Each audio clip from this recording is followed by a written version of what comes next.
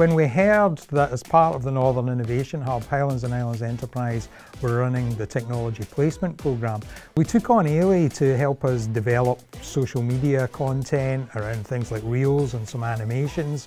And that's enabled us to offer a much wider range of services to our customers.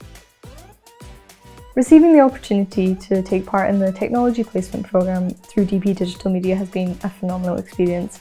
I've gained many more skills in filming and editing, as well as dealing with clients and being left to organise and shoot projects all on my own. Having that support from Highlands and Islands Enterprise gave us the breathing space to be able to try things, to experiment, to see what worked and what didn't, and if something worked particularly well, to, to develop that even further.